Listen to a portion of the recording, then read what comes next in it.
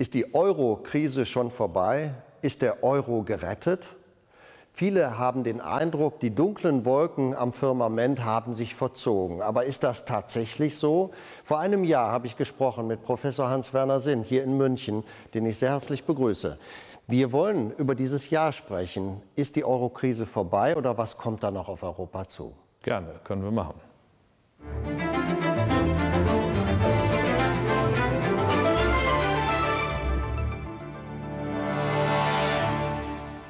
Herr Sinn, wo stehen wir ein Jahr danach? Wir haben uns vor einem Jahr unterhalten. Wir sind hier in der antiken Sammlung in München. Das sind Zeugen einer großen griechischen Zeit, einer Hochkultur. Wir haben auch über Griechenland vor einem Jahr gesprochen und man hatte so ein bisschen den Eindruck, äh, lange währt es nicht mehr mit Griechenland im Euro. Wir sind immer noch drin. Samaras, der Staatspräsident, hat erklärt, es geht aufwärts. Äh, wir werden in ein paar Jahren wieder eine gesunde Staatsfinanz haben. Ist das jetzt nur mein Eindruck, dass da alles im Augenblick in ruhigen Gewässern ist oder ist das ein falscher Eindruck? Dass Griechenland gesunde Staatsfinanzen haben wird, das haben wir jetzt schon fünf Jahre lang jedes Jahr hintereinander gehört, ohne dass es jemals gestimmt hat. Äh, Griechenland steht kurz vor einem weiteren Schuldenschnitt weil die äh, Lasten dieses Landes so immens sind, äh, dass es gar nicht in der Lage ist, die zu tragen. Also äh, man hat das jetzt hinausgeschoben, damit das nicht vor der Wahl passiert, aber das wird uns jetzt im Herbst oder Winter blühen. Es geht ja nicht nur um Griechenland, sondern auch um eine Reihe anderer Länder. Wir haben in diesem Jahr ein großes Problem mit Zypern gehabt und in Zypern sind Dinge passiert, die auch einen ganz grundsätzlichen Wandel äh, zeigen, wie Staaten mit äh, den Konten ihrer Bürger umgehen. Sprechen wir mal über die Zypern-Zäsur. Manche sagen, da ist etwas passiert, was den Menschen noch gar nicht in Europa so richtig klar geworden ist. Da hat nämlich der Staat direkt auf die Konten der Bürger zugegriffen. Haben wir tatsächlich in diesem Jahr eine neue komplett neue Qualität erlebt? Ja, wir haben ja jetzt Kapitalverkehrskontrollen mit Zypern. Die Leute können ihre Bankkonten auch nicht abräumen, äh, wie sie es möchten, sondern es ist kontingentiert. Ähm, es gibt jetzt zwei Euros in der Eurozone, einen zyprischen Euro und äh, den anderen Euro, weil äh, den zyprischen Euro, wenn man den hat, kann man ja nicht in den anderen umtauschen. Da gibt es ja die Kapitalverkehrskontrollen. Und gut, wer war der Bösewicht? War es der Staat? Nein, es war nicht der Staat, sondern äh, die äh, zyprischen Banken haben sich halt total verspekuliert und äh, sind, sind pleite. Äh, diese Pleite wurde äh, noch ein Jahr verzögert, im letzten Jahr nämlich. Äh, man hat sehr viel Geld gedruckt in Zypern bei der dortigen Zentralbank, hat das an die Banken verliehen und mit diesem Geld wurden dann die großen Gläubiger noch ausbezahlt der Banken. Russische Oligarchen, griechische Investoren. Und äh, im Grunde war das eine Art von Konkursverschleppung äh, mit öffentlichen Geldern der Europäischen Zentralbank. Äh, irgendwann wurde es der Zentralbank dann zu bunt und hat gesagt, das machen wir jetzt nicht mehr weiter. Und das war dann der Konkurs der Banken in Zypern. Haben wir denn damit eine neue Qualität ähm, im Umgang der Staaten mit dem Geld ihrer Bürger? Äh, insofern eine neue Qualität als jetzt äh, zum Glück, muss man sagen, äh, die Staaten nicht voll eingesprungen sind für die Verluste der Banken, sondern tatsächlich auch die Verluste, die da sind, bei denjenigen liegen, die ihr Geld in diese Banken getragen haben. Man muss ja bedenken, äh, wer ein Bankkonto bei einer zyprischen Bank hielt, der kriegte ja fantastische Zinsen von 4, 5, 6 Prozent im Vergleich äh, zu dem, was anderswo gezahlt wird, nämlich fast nichts. Und äh, dieser große Zinsaufschlag war eine Risikoprämie. Man wusste ja, wenn man das Geld in Zypern hält, dass das äh, nicht sicher ist. Im Übrigen geht es hier nicht nur um Bankkonten, sondern es geht um äh, andere äh, Schuldverschreibungen, die die Banken ausgegeben haben, um sich Geld zu besorgen. Äh, die russischen Investoren, die ihr Geld dahingelegt haben, haben ja nicht das auf Bankkonten nur gehalten, sondern andere Titel gegenüber der Bank gehabt. Und es ist nicht einzusehen, dass nun die Steuerzahler der noch gesunden Länder Europas dafür aufkommen, äh, diese Investoren abzusichern. Sie haben vor einem Jahr gesagt, äh, wenn diese Schuldenspirale sich weiterdreht, dann wird es Länder geben, die wir im Euro nicht mehr halten können. Ist diese Schuldenspirale weitergegangen? Sind wir noch höher verschuldet als vor einem Jahr? Und welche Konsequenzen stehen da im Grunde an? Ja, ja, das geht natürlich äh, weiter. Die äh, öffentlichen äh, Kredite nehmen zu. Allerdings hat doch eines stattgefunden, was also scheinbar zu einer Beruhigung beiträgt. Es hat eine Umschuldung stattgefunden. Erst einmal ist die Europäische Zentralbank mit Riesenkrediten in äh, Vorleistung gegangen. Das war während der ersten Jahre der Krise, indem sie diesen Ländern erlaubt hat, äh, sich die Mittel, die sie am Kapitalmarkt nicht mehr leihen konnten, zu drucken. Also man hat sich das Geld gedruckt, äh, hat das verliehen an die Banken, die Banken haben das weiterverliehen an die private Wirtschaft als Ersatz für die Kredite, die normalerweise über die Kapitalmärkte kamen. Mittlerweile ist die Europäische Zentralbank selber zum Teil des Problems geworden. Sie hat in der Spitze für die sechs Krisenländer 1000 äh, Milliarden Euro zusätzliche Kredite gegeben über das Normalmaß hinaus, was für die Liquiditätsversorgung äh, üblich ist. Und das bedeutet, dass wenn die Banken Südeuropas pleite gehen, äh, dann ist auch die Europäische Zentralbank pleite, weil ihre Forderungen nicht einbringbar sind. Das ganze europäische Zentralbankensystem hat nur 500 Milliarden Eigenkapital. Äh, die Verluste für die Banken äh, könnten äh, leicht diese Größenordnung erreichen. Die Schätzungen liegen bei 650 Milliarden und trifft das nicht alles nur die EZB. Aber auf jeden Fall sehen wir, dass die EZB selbst zum Teil des Problems geworden ist. Und was wir jetzt haben, eine Phase, wo die öffentlichen Rettungsschirme seit 2010 dazu dienen, die Gläubiger der Banken und insbesondere auch die EZB selber zu retten.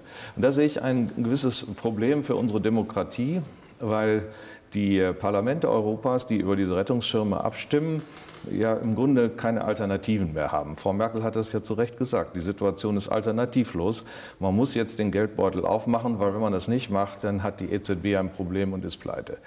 Also äh, ergibt sich eine Pfadabhängigkeit der Politik. Vor Jahren, zu Beginn der Krise, eröffnet also der äh, Zentralbankrat äh, mit der Mehrheit der südlichen Länder, die da nun mal besteht, äh, den Weg, sich das Geld zu drucken und an die Banken zu verleihen in diesen Ländern.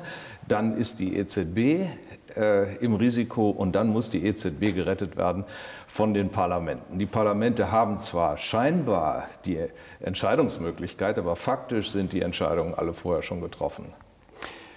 Umgekehrt muss man aber sagen, hätte EZB-Chef Draghi vor einem Jahr nicht gesagt, ich bin bereit aufzukaufen, ich bin bereit Geld zu drucken, dann wäre wahrscheinlich sehr viel früher ein Kollaps eingetreten. Ja, es gibt ja ja, vielleicht. Es gibt hier zwei verschiedene Dinge. Die eine Sache ist das, was äh, Draghi im letzten Sommer gesagt hat, nämlich mit dem OMT-Programm, ähm, Investoren aller Welt, habt keine Sorge, wenn ihr mhm. nach Südeuropa geht und die Staatspapiere kauft, bevor ein Staat pleite geht, kaufe ich sie euch ab. Mhm. Das hat die Märkte sichtbar beruhigt, aber es bedeutet natürlich, wenn äh, die Abschreibungsverluste dann eintreten, dass sie äh, in der Bilanz der EZB liegen. Und das wiederum heißt, dass die EZB ihre Gewinnausschüttungen an die Finanzministerien äh, der Eurozone reduzieren muss. Und das wiederum heißt, dass die Steuerzahler Europas die Zeche zahlen. Das ist das, was vor einem Jahr gewesen ist und was die Märkte signifikant beruhigt hat. Aber der viel größere Posten bislang von wirklichem Geld, das geflossen ist, das ist das Geld aus der Druckerpresse. Äh, man hat im Süden es äh, den Notenbanken erlaubt, den Kapitalmarkt zu ersetzen mit der Notenpresse. Und das hat man getan, indem man die Sicherheitsanforderungen für die Kredite, äh, für die Pfänder, die die Banken ihren Notenbanken geben müssen, im Austausch für Kredite, die sie selber bekommen, laufend abgesenkt hat. Dramatisch abgesenkt hat. Und das ist ja auch der Grund, weshalb äh, Jens Weidmann, der Präsident der Deutschen Bundesbank, einen geharnischten Brief vor einem Jahr geschrieben hatte an die EZB, dass das so nicht weitergeht. Äh, die Bundesbank äh, steht letztlich auf der anderen Seite dieser Kredite. Sie muss hier in Deutschland das Geld einsammeln. Die Banken tragen das Geld dahin. Es gibt kein Geld mehr in Deutschland, das durch Kreditoperationen geschöpft wäre. Das ganze Geld, das in Deutschland zirkuliert, kommt letztlich aus Südeuropa und und, und Irland. Ja, äh, wir haben kein Geld mehr, das durch Kreditoperationen geschaffen ist. 80 Prozent der Geldmenge in der Eurozone ist gemacht worden durch Kreditoperationen oder sogenannte Offenmarktoperationen in den sechs Krisenländern. Und diese fiskalische Verschiebung der Geldschöpfung vom Norden in den Süden ist eigentlich die Hauptsache. Das macht äh, zusammen mit allen anderen äh, Rettungsaktionen eine Summe von 1,1 äh, äh, Billionen Euro heute, die an Hilfskrediten zur Verfügung gestellt wurden. Und von diesen 1,1 Billionen sind 140 Staatspapierkäufe und es sind äh, um die 700 diese äh, Kreditverschiebungen durch die Zentralbank und der Rest, das sind die offenen Rettungsschirme. Die offenen Rettungsschirme äh, erklären ungefähr ein Drittel der gesamten Kreditsumme. Ist ein riesiges Demokratieproblem, denn diese Kredite wurden zur Verfügung gestellt äh, von einem technokratischen Gremium, dem EZB-Rat, der nach Meinung vieler sein Mandat überschritten hat, denn der sollte eigentlich nur Geldpolitik machen und nicht äh, fiskalische Rettungskredite gewähren. Genau über diese Frage wird ja das Bundesverfassungsgericht entscheiden. Ähm, die Frage ist jetzt nur, an welchem Punkt befinden wir uns in dieser Schuldenspirale, in dieser Schuldenkrise. Äh, die Bundesbank, die warnt, äh, warnte kürzlich vor einer Rückkehr der Schuldenkrise. Ist die denn eigentlich weg? Das hört sich so ein bisschen an, als würde die Schuldenkrise nur unter bestimmten Bedingungen wieder zurückkommen. Ähm, die Basis für diese Schuldenkrise ist ja äh, die fehlende Wettbewerbsfähigkeit der südlichen Länder. Der Euro hatte dort billigen Kredit zur Verfügung gestellt in den ersten Jahren. Es gab eine Kreditblase, die Immobilienpreise explodierten, die Löhne explodierten und äh, die Preise der produzierten Güter stiegen, was die Wettbewerbsfähigkeit dieser Länder unterminierte. Das ist das Hauptproblem. Äh, die Länder sind im Grunde durch den Euro in eine Falle geraten, wo anfangs Party war, äh, man den Lebensstandard vergrößert hat und dabei seine Wettbewerbsfähigkeit kaputt gemacht hat. Das ging so lange gut, wie der Kredit aus dem Ausland floss und als er aufhörte zu fließen, gab es ein Problem.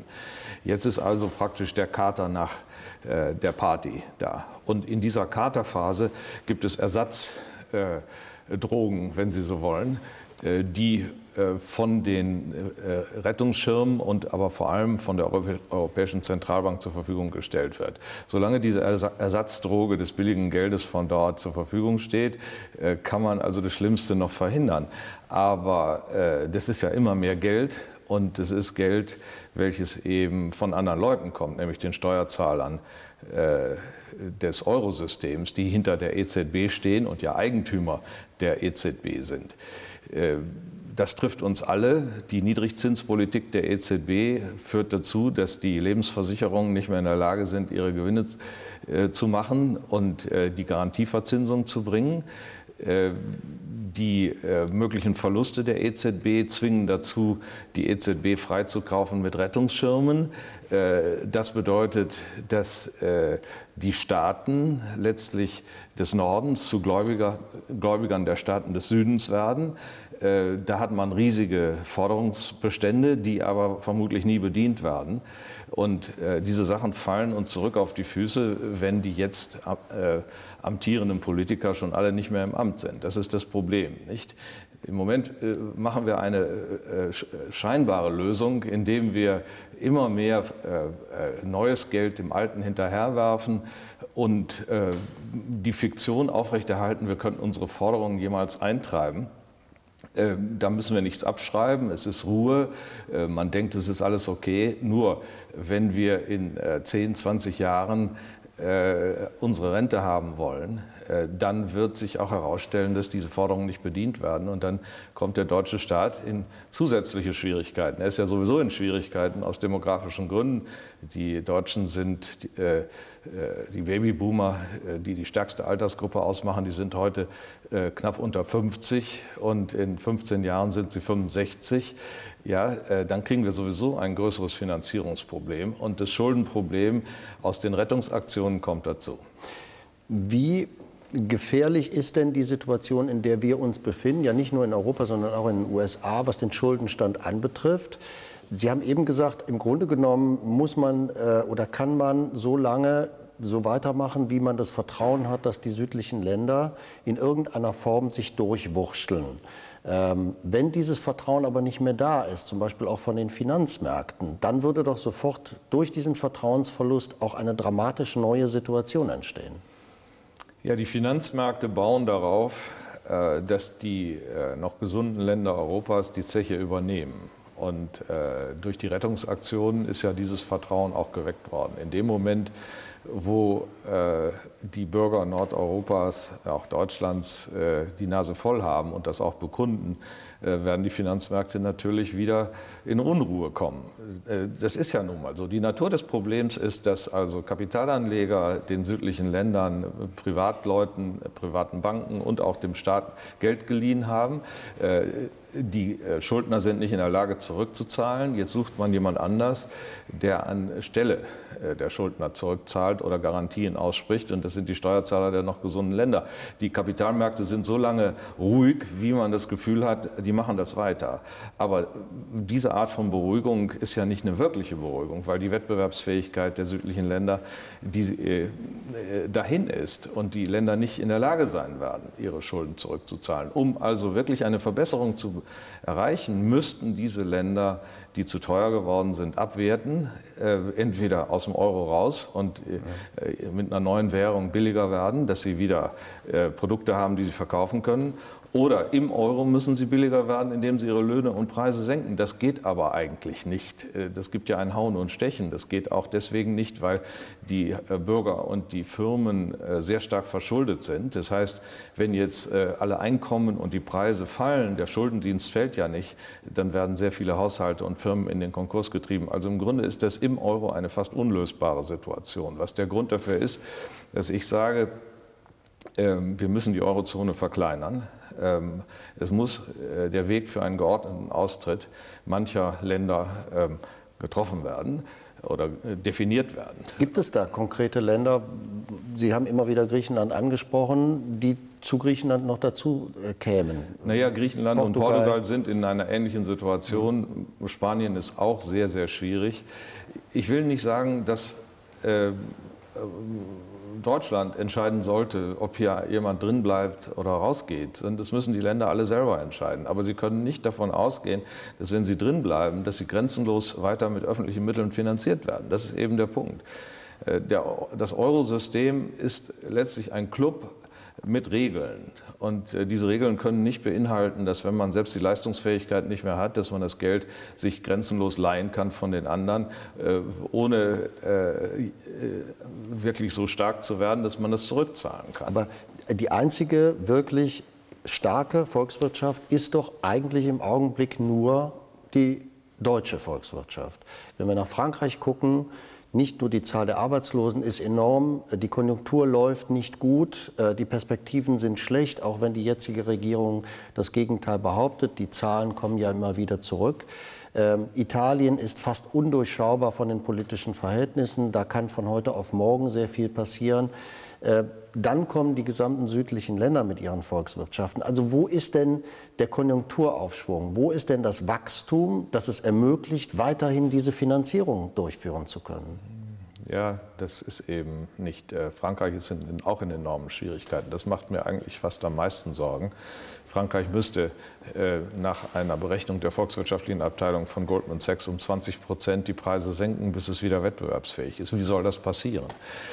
Ähm, gut, ein Weg ist, dass wir also das über die Zeit strecken und äh, Deutschland äh, den Gefallen tut, äh, zu inflationieren. Dadurch verliert Deutschland an Wettbewerbsfähigkeit und die anderen gewinnen an Wettbewerbsfähigkeit. Also wenn die Franzosen aufhören, ihre Preise zu erhöhen, während Deutschland inflationiert, dann wird sich die Sache in einem Jahrzehnt vielleicht bereinigt haben. Das Gleiche gilt auch für Italien. Aber für äh, Spanien, Portugal, Griechenland, Zypern ist das irgendwie doch noch eine ganz andere Gefährdungslage. Ich weiß nicht, ob, es in der, ob diese Länder in der Lage sein werden, sich zu halten. Und wovor ich Angst habe, ist, dass man jetzt ähm, einfach diese äh, Sozialisierung der Schulden und die öffentlichen Rettungsschirme so weiter treibt, bis nichts mehr zu holen ist und dass dann doch äh, äh, der Euro zerbricht mit einem großen Knall und einzelne Länder austreten. mindestens einzelne austreten oder alles mhm. zerbricht. Und ich, ich, glaube, es wäre besser, man würde äh, im Vorhinein den Weg für einen geordneten Austritt eröffnen mit entsprechenden Gemeinschaftshilfen für die Banken dieser austretenden Länder und auch einer Rückkehroption. Denn wenn die ausgetreten sind, äh, werten ihre Währungen ab, sodass die Einheimischen äh, wieder eigene Produkte kaufen statt Importprodukte. Nicht? Die, die Griechen wieder eigene Tomaten statt holländische Tomaten zum Beispiel.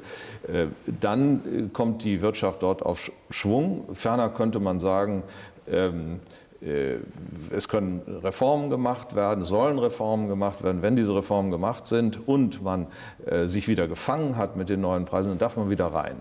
Also nach zehn Jahren kommt man wieder zurück in den Euro. Diese Option besteht. Und das ist, glaube ich, der bessere Weg. Dieses krampfhafte Festhalten an diesem Euro-Verbund äh, deutet nach meinem Begriff, dass wir eine Riesengefahr hier aufbauen, dass das Ganze zum Schluss platzen wird.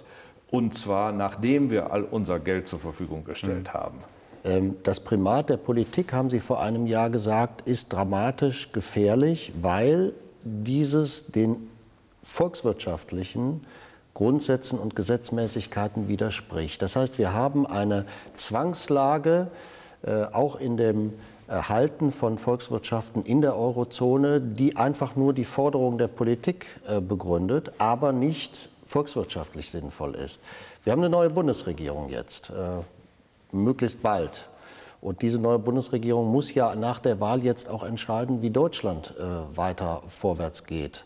Äh, was für Entscheidungen für Deutschland gefällt werden. Kann man der einer neuen Bundesregierung, wie immer sie aussieht, einen Rat geben? Ja, also es muss bei dem Thema Euro unbedingt jetzt mal eine äh, grundlegende äh, Neuorientierung hier stattfinden. Äh, die eine Möglichkeit ist, wir gehen in eine äh, Transferunion. Das wollen die Franzosen. Die wollen eine gemeinsame Schuldenaufnahme mit Eurobonds. Die wollen eine gemeinsame Arbeitslosenversicherung. Sie wollen letztlich die Lasten, die sie nun haben, vergemeinschaften. Und die andere Möglichkeit wäre, dass man Austrittsoptionen schafft sodass äh, ein Land wie Zypern oder Griechenland tatsächlich geordnet austreten kann, um dadurch die eigene Wettbewerbsfähigkeit wiederherzustellen. Ich halte diesen zweiten Weg für unerlässlich, weil der erste Weg wird nicht zu einem friedvollen Europa führen. Äh, die Vergemeinschaftung der Schulden wird zum Schluss also nichts als als äh, Streit und äh, Zwietracht hervorbringen. Ich verweise auf die ersten Jahrzehnte der Vereinigten Staaten von Amerika. Dort hatte ja Alexander Hamilton, der erste Finanzminister 1791, die Schulden der Einzelstaaten vergemeinschaftet, indem er sie zu Bundesschulden machte. Und äh, es gab noch eine zweite Vergemeinschaftung beim, äh, 1813 im Krieg gegen die Engländer. Und da hatte man das Gefühl, ja, ist ja prima, man kann ruhig Schulden machen, äh, das wird alles sozialisiert auf die Gemeinschaftsebene gehoben. Und so haben die Staaten sich verschuldet und verschuldet bis zum geht nicht mehr. Anfangs war das prima, ja, äh, es wurden Kanäle gebaut, Infrastruktur entwickelt, äh, aber keiner konnte die Schulden zum Schluss zurückzahlen. 1837 begann eine große Krise, die bis 1842 neun amerikanische Staaten äh, einen erheblichen Teil der Staaten, die es gab, in den Konkurs trieb. Und da war eben Ende mit der Schuldensozialisierung, weil die anderen Staaten auch nicht in der Lage waren, die Schulden der Pleitestaaten mit zu übernehmen. Und dieser Streit, dieses ungelöste Schuldenproblem trugen die Amerikaner von da an vor sich her. Und äh, das alles hat beigetragen, jedenfalls wenn man dem äh, amerikanischen Historiker Harold James aus Princeton glauben darf, zu den Spannungen, die dann sich 1861 im Sezessionskrieg entluden. Äh, natürlich, die Sklavengeschichte war die Hauptsache, aber das ungelöste Schuldenproblem äh, trat eben hinzu zu diesen Spannungen. Und äh, Amerika hat hier eigentlich gezeigt, dass man es so nicht machen darf. Stichwort USA. Dort kauft die Zentralbank Staatsanleihen auf im Wert von 83 Milliarden pro Monat. Äh, die Zinsen werden künstlich niedrig gehalten, aber es entsteht im Augenblick auch offenbar ein gewisses Wachstum wieder bis zu zweieinhalb Prozent. Ist das dann doch der richtige Weg? Denn andererseits sagt man, die Verschuldung ist grenzenlos in den USA. Naja, in den USA haben wir eine etwas andere Situation, weil die USA nach außen hin flexible Wechselkurse hat. Also was dort gemacht wird, ist nicht übertragbar in die Situation der südeuropäischen Länder, weil äh, nachfragestimulierende Maßnahmen äh, dort äh, würden ja nur bedeuten, dass die nötige Änderung der relativen Preise die reale Abwertung, wie wir Ökonomen sagen, in Südeuropa nicht zustande käme. Das ist eine total andere Situation. In Amerika kann man Verständnis haben, obwohl mittlerweile äh, das Ausmaß, in dem die Zentralbank hier die Geldmenge erhöht hat, schon auch äh, bedenklich ist und potenziell Inflationsgefahren bedeutet. Für Europa würde ich das nicht sehen. Äh, denn das Besondere in Europa ist ja nicht, dass die Geldmenge ausgeweitet wurde wie in Amerika, sondern verlagert wurde die von, vom Norden in den Süden. Im Süden wurde gedruckt, was man brauchte, um sich die Güter im Norden zu kaufen und seine Schulden im Norden zu tilgen und das Geld floss dann in den Norden und im Norden wurde es im Grunde wieder geschreddert. Das heißt, die Banken tragen das Geld zur Bundesbank äh, und werden Gläubiger der Bundesbank. Die Bundesbank wird zum Schuldner des Bankensystems. Das ist eine ganz andere Situation. Also im Norden wird das Geld reduziert, im Süden wird es ausgeweitet und ist ein Kreditfluss durch das Zentralbankensystem welcher äh, den privaten Kreditfluss ersetzt und äh, die Staaten des Nordens über die Bundesbank hier äh, zu riesigen Gläubigern äh, des Südens macht. Mit der Folge übrigens, dass wenn der Euro zerbricht, dass man da Forderungen hat, die man nie mehr wird eintreiben können. Denn es gibt keine Nachschusspflicht in dem EZB-System, das ist alles nicht geregelt. Ein englischer Journalist hat kürzlich geschrieben, Deutschland sei quasi an der Angel. Nicht? Man kommt da auch gar nicht mehr raus. Deswegen müssen wir auch den Euro aufrechterhalten, weil wenn er zerbricht, haben wir riesige Verluste. Und weil das jeder weiß, heißt das wiederum, man kann aus Deutschland auch riesige äh, Rettungsvolumina ähm, herausholen. Ich will nicht sagen erpressen, aber man kann also äh, glaubhaft die Forderung stellen, weil wenn äh, Deutschland darauf nicht eingeht und der Euro zerbricht, dann haben wir auch unsere Verluste. Die Verluste sind also im Grunde schon fast unabweislich, was auch immer, immer passiert. Ähm, und die Politik neigt aus diesem Grunde dazu, ähm, äh, das Problem einfach in die Zukunft zu schieben. Mhm. Dadurch werden die Verluste allerdings nicht kleiner, sondern größer, treten nur heute noch nicht auf. Aber das, was jetzt äh, im Einschnitt nach einer Wahl passiert, ist doch, dass man sich jetzt neu orientieren muss, dass man Prioritäten festlegen muss, dass man auch unter den volkswirtschaftlichen Gesetzmäßigkeiten, die Sie beschrieben haben, unter anderem auch sehr ausführlich in Ihrem Buch die Target-Falle, jetzt sich den Realitäten stellen muss. Haben Sie den Eindruck, dass äh, nach, äh, sagen wir mal, den letzten Monaten ein gewisser Optimismus da ist, dass sich die Politik tatsächlich diesen Gesetzmäßigkeiten äh, stellt und dass es eine grundlegende Überlegung äh, geben wird, auch in der deutschen Politik, wie gehen wir mit diesem Problem um? Nein, überhaupt nicht. Äh, das zeigt ja schon der Wahlkampf. Der Wahlkampf hat die Hauptproblematik, die wir haben, das Thema Euro, ja ausgeklammert. Das wurde ja totgeschwiegen von den etablierten Parteien. Nur eine neue Partei am Rande hat das aufgegriffen, was ich äh, für unerträglich finde. Man hat also über irgendwelche Nebensächlichkeiten diesen Wahlkampf geführt und Äußerlichkeiten über Personen. Dabei die großen Fragen, wie es in Europa weitergehen soll, wie man das Eurosystem konstruiert, äh, außer Acht gelassen. Und wer das dann vorgebracht hat, dieser äh, Professor Lucke aus Hamburg, äh, der wurde dann also persönlich niedergemacht, statt dass man sich mit seinen Argumenten auseinandergesetzt hat. Ich gehöre dieser Partei nicht an, aber die Art und Weise, wie Deutschland die Diskussion hier geführt hat, ist ja geradezu erbärmlich. Dann wurde er irgendwie noch in die rechte Ecke gesteckt, statt dass man sich mit seinen Argumenten, äh, die er ja hatte, auseinandersetzte. Wenn es einen Prioritätenkatalog gäbe, für eine neue Bundesregierung, für einen neuen Finanzminister. Was steht denn da äh, bei Punkt 1, 2 und 3? Ja, also Punkt 1 ist, wir brauchen nach meinem Dafürhalten eine Neuverhandlung der, äh, des Maastrichter Vertrages, um dieses neue Europa zu regeln. Äh, dazu gehört, äh, wenn man eine Stärkung der politischen Union will, die entsprechenden Regeln. Äh, dazu gehört äh, auch gemeinsame Fiskalpolitik, wenn man sie denn machen will. Aber das muss immer auch mit einer Stärkung der politischen Seite verbunden sein. Und vor allem muss das Eurosystem neu konstruiert werden. Es geht nicht an, dass 80 Prozent der Geldmenge des Eurosystems in den sechs Krisenländern geschaffen werden. Also man, man, man, druckt sich das Geld und kauft sich im Norden, was einem gerade so gefällt. Gehen Sie mal nach Berlin. Äh, wer kauft die ganzen Häuser dort und die Immobilien? Da sind erstaunlich viele äh, Spanier und Griechen dabei. Woher haben die das Geld? Ne, das drucken sie sich halt. Das ist alles ein Unding. Und man zahlt die privaten Schulden zurück, äh, weil die EZB mit der Druckerpresse praktisch eine Niedrigzinskonkurrenz macht. Kein, keine private Bank im Norden ist bereit, im Süden unter den Bedingungen Geld zu verleihen, zu denen Herr Draghi das macht. Das alles ist auch eine Aushöhlung der Marktwirtschaft. Wir kommen in ein anderes Regime hinein, wo letztlich ein technokratisches Gremium, der EZB-Rat, bestimmt, wo welches Kapital in Europa investiert wird.